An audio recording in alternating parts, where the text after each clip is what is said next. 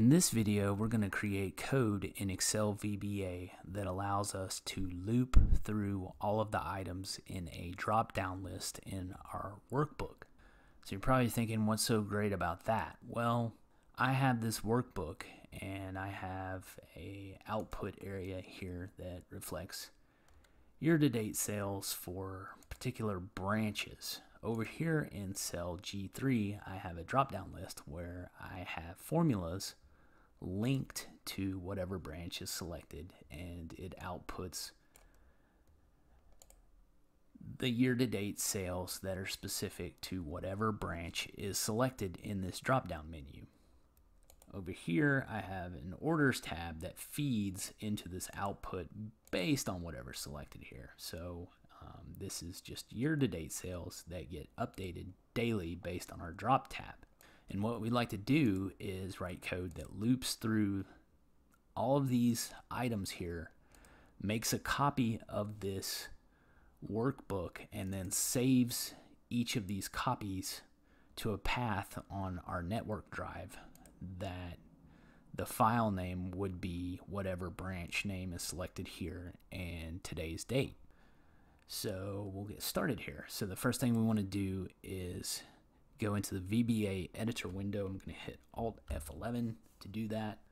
Anywhere in this project window, I'm going to right click, go to Insert, and then Module. We'll call this subroutine My Files. And we'll begin by declaring some variables. So the first one is going to be WB for workbook. It's going to represent the workbook we're in now. It's going to be as the data type workbook. Next one is going to be WS for worksheet. It's going to be as the data type worksheet, and that's going to represent the summary worksheet that we're on currently. We're going to have um, a new workbook and new worksheet that represents the new copy we're going to make of the existing one. So I'm going to copy this, paste, and just add in in front for new workbook and new worksheet. We're also going to have a variable called range, and it's going to be as the data type range, and it's just going to represent the cell that contains our drop-down list values. We're going to have a variable called path. It's going to be as a data type string, and that's just going to be the network path we want to save this to. So eventually we want to have our four files with the file names being the branch, location, and a date here like this. And we want to save it to this path. Now I'm going to delete these out and copy the path that we want to save this to. So finally we have a variable called my date because we want that to be part of our file name. So even though that's a date, it's going to be as the data type string because it's going to be part of the file name and the file name is a string. So first thing we want to do is set our workbook variable that is going to be equal to this workbook and it's an object so think of physical things like workbook worksheet uh, range need to begin with the keyword set because they're object variables. So we're going to set our worksheet. That's going to be equal to our workbook we just created and then worksheets. And the sheet name we're on now is called summary. We're going to set our range and that is going to be equal to the worksheet we're on now and then the range that contains our drop down list which I believe yeah cell G3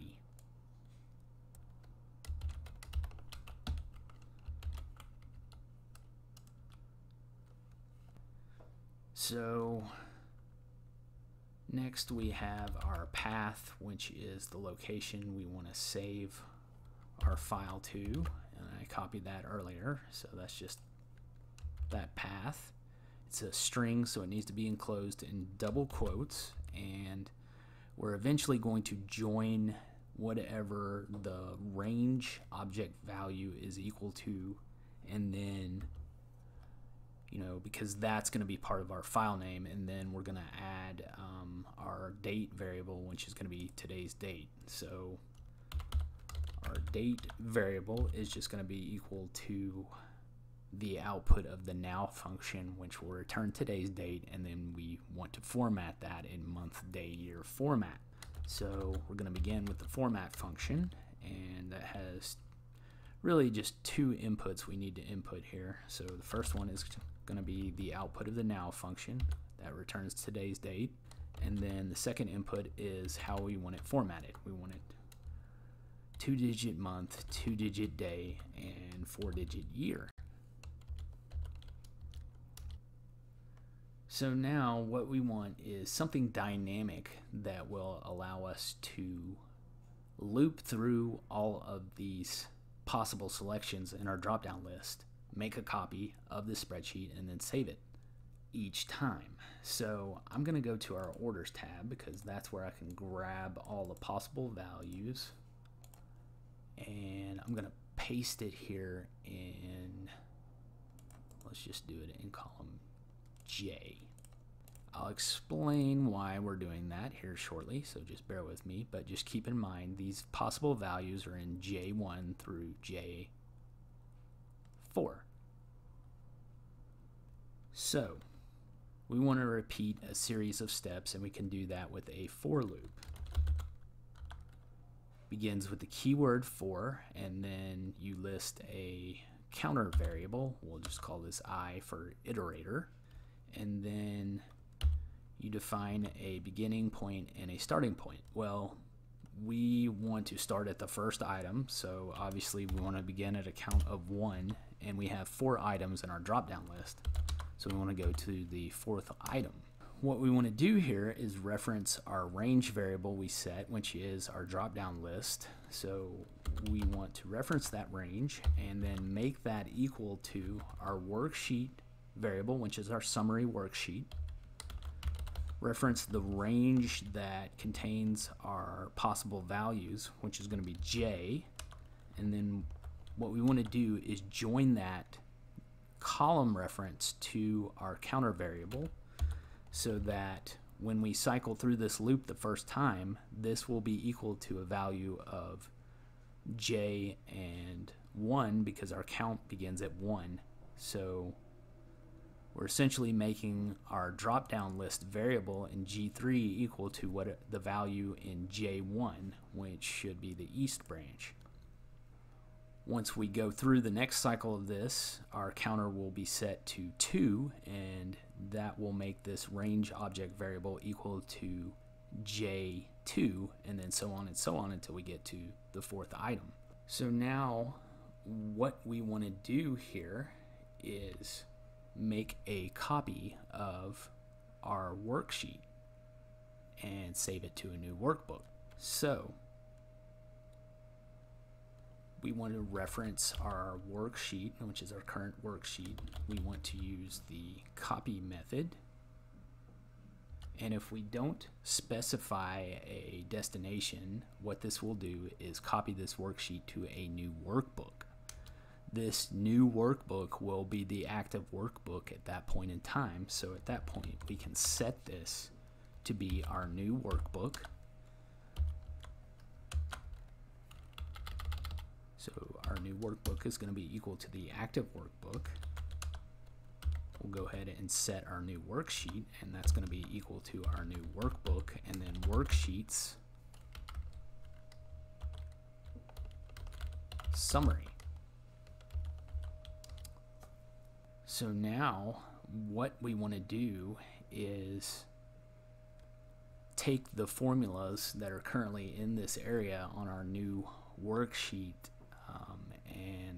copy and paste over them as values so that when we say these fi files they're just hard values because we don't want them linked to formulas. So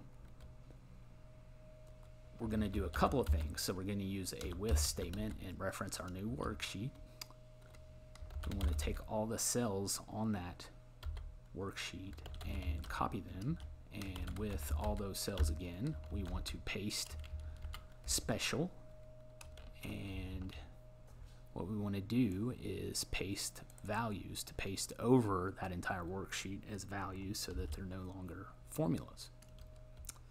We're done with our with statement, so we can end our with. And now what we want to do is just simply save this file to our desired path. Now, one thing I recommend when saving files in VBA, um, a lot of times you might need to run this code again. Maybe you make an update to your file and you have to, there's already the same file name out there in that desired path. If there is, that display, you know, the alert will pop up and say, Are you sure you want to save over this file? Well, it's good to have, but it will stop your code from running. So, what we want to do to prevent that is reference our application, if I can type here, and then display alerts and set that equal to false. After that, we want to reference our new workbook and then save as. And the first thing we need to define here is our file name. That is going to be equal to a combination of our path variable, our range variable, which contains the current branch selected in our drop-down list. So we have our path variable we defined earlier.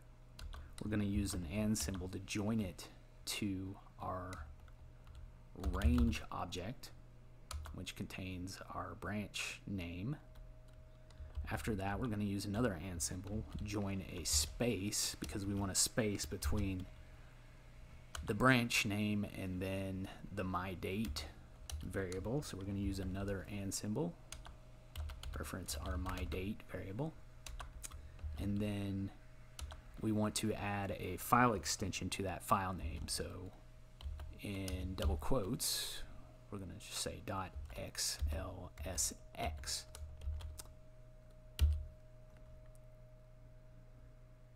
So the next thing we need to define in our save as is the file format. So we just want the standard, if I can type here, format. And we just want XL workbook default. So now what I want to do is close out that workbook. So I'm just going to reference that workbook variable again and then close. After that, we want to set this application display alerts back to true. And the only thing left is we want to go to the next count in our for loop. So I'm going to use the keyword next and then reference our counter variable. And that will take us back up to the top where this i variable changes to the next count, which is 2, and repeats all these steps and does it everything again until we get to the fourth item in our drop-down list. So what I'm going to do is just hit play, and what we should see is four files with the branch names and dates pop up in this folder here.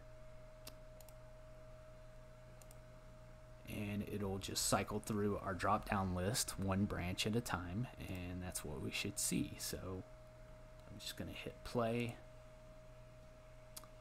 There's a little bit of lag time here because I'm recording my desktop, so I do apologize. And now I go back to this folder. You can see we have our four files. It's going to take a little bit for the file to open. And you can see I have the East branch. File name is East branch with today's date. If we look at the last one, this should be the West branch. It's going to take a second. There it is. And you can see we have the data for the West branch. So that is how you can create a loop in Excel VBA that cycles through all the items in a drop down list that drive formula outputs on your workbook. That is all for now. Thanks for watching. Please remember to subscribe.